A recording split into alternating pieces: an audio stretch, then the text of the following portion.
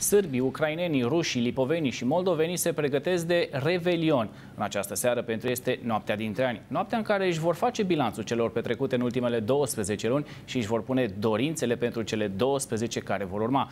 Vor și petrece, desigur, iar pentru ei o mulțime de bucătari au trebuit toată ziua.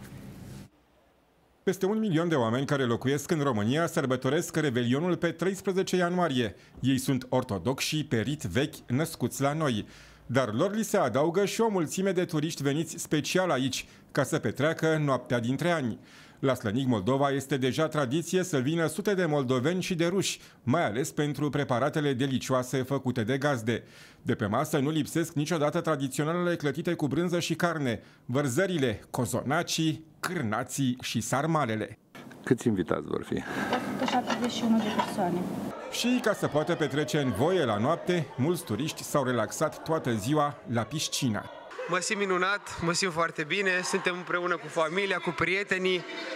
Apa din piscină e foarte bună și mai ales cu acest peisaj deosebit. Se vede cum ninge deasupra noastră, atmosfera e bună, am văzut că sunt foarte mulți oameni veniți și din Republica Moldova și din alte părți ale țării. Îmi plac camerei, piscina, totul, absolut tot.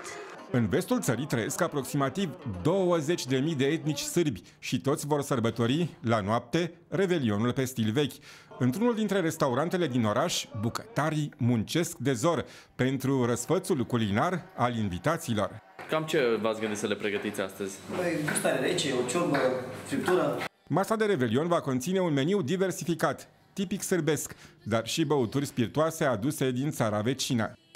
Friptura le pregătim un rulou de burcan cu legume și un cotlet de porc cu un sos Dijon, sos de muștar și cartofi aromați cu rozmarin și puțin usturoi. Ca gustare caldă ne pregătim o surpriză, o pleșcăviță specifică săbiască și un sos specific. Și tot specific sârbilor este ca la miezul nopții să spargă pahare, pentru că acest ritual le aduce noroc.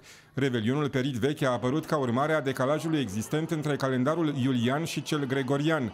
Pentru că între cele două există o diferență de 13 zile, sărbătorile de iarnă pică în date diferite.